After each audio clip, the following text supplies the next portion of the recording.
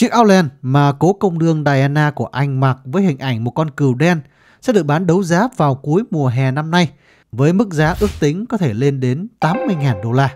Công nương Diana lần đầu tiên mặc chiếc áo này để xem thái tử George lúc đó chơi một trận bóng polo vào tháng 6 năm 1981, một tháng trước khi họ kết hôn, đã làm dấy lên suy đoán về ý nghĩa tiềm ẩn của nó. Bộ quần áo của Diana hiện đang được trưng bày tại London Galleries. Theo giám đốc điều hành thì bộ đồ này ước tính có giá từ 50 đến 80 ngàn đô la. Phiên đấu giá sẽ bắt đầu từ ngày 31 tháng 8 và sẽ kéo dài đến hết ngày 14 tháng 9.